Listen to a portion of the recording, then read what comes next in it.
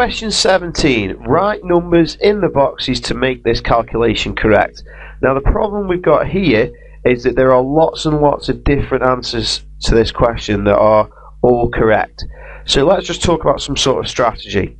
Well, you've got an equal sign in the middle. So whatever the answer to this calculation is here has got to equal, have the same answer to whatever this calculation is here. So that is going to affect what you put in. So, best thing to do here is just choose a number. So let's go for a nice easy number to deal with. Let's go for number 10. So if you put the number 10 in there, 50 take away 10 would make 40.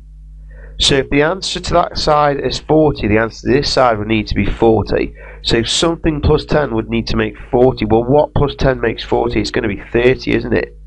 So that is one possible set of answers. Let's just rub out those 40s and think about another possible set of answers. Well, if you put 20 in here, 50 take away 20 would now make it 30. So to make this 30, something plus 10 makes 30. You'd have to be 20 again. 20 plus 10 would make 30. So if you're going to put 20 in this side, 20 has to go in the right hand side as well. So whatever number you put in the left hand side, you then got to work out what the answer to that side is and use that answer to make the right hand side balance up. Let's do a couple more. Let's just pick a random number. Let's say 7. So 50 take away 7 on this side would then make the answer 50 take 7 would be 43.